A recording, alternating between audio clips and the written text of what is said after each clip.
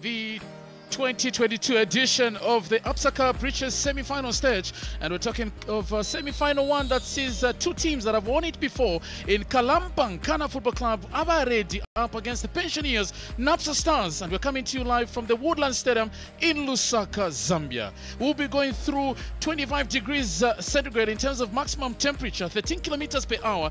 It's a bit cloudy here at the Woodland Stadium.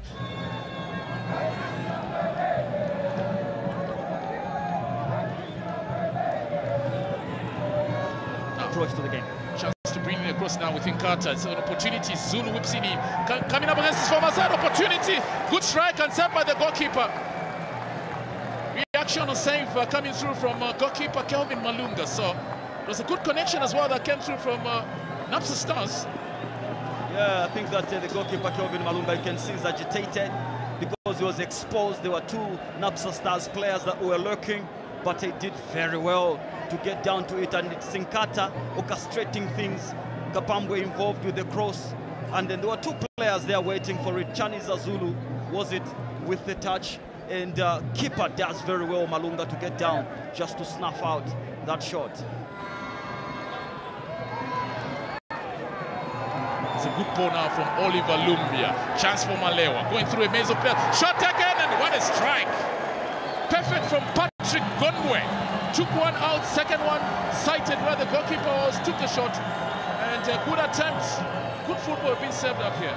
Brilliant football from Kalampa. Jacob Ngulube heavily involved. And uh, looks like Stefan Chulu with the pass and uh, the 10 on the edge. Brilliant shot by Patrick Gondwe, but whizzing just past that post. Moment for Chikwekwe now. This could be a Tazia. Good save by Rodwell Mukwanya. What a save! Super save! Beautifully served. But then the beauty by Kalampa, the pace by Diamond Chikwekwe. That's a Diamond save. Well, probably a God save.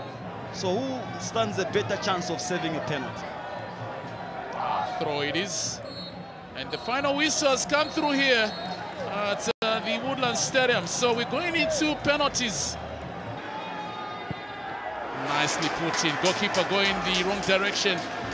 And uh, Napsa Stars take the lead. Keeper committed too early, just rode it in the back of the net. The former Changa Rangers man up against Rodwell Mukwanya. And he misses it completely.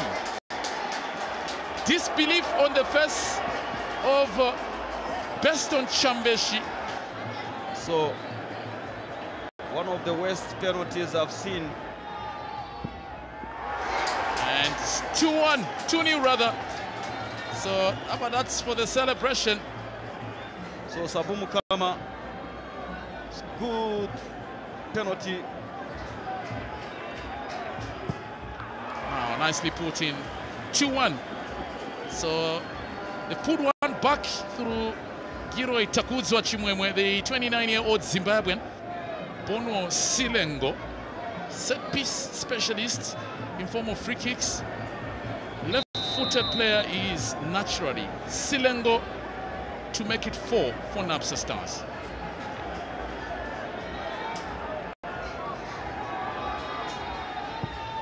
And Mangani goes the wrong way. 4-1. Uh, they're inching and believing and getting closer to the making it into the final of uh, the Absa Cup.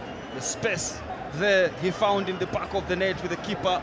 If this guy, Jacob Ngulube, misses, then it's curtains. Napsa into the final. Up the against his former side is uh, Jacob 2012. Ngulube. The team that he played for last season was Napsa Stars. Ngulube to keeping Kana in this match. They miss, they're out. And saved by Mukwanya.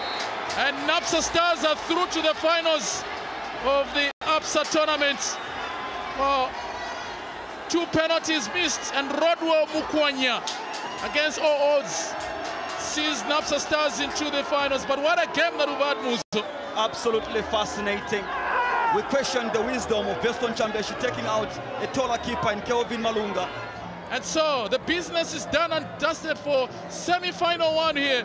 Napsa Stars have beaten Kalampa Nkana Football Club. Tough luck for Nkana. Congratulations to Napsa Tangarana Bora. It has ended Napsa Stars 4 and of course Nkana 2. Join us next time on the World of Champions. Goodbye for now.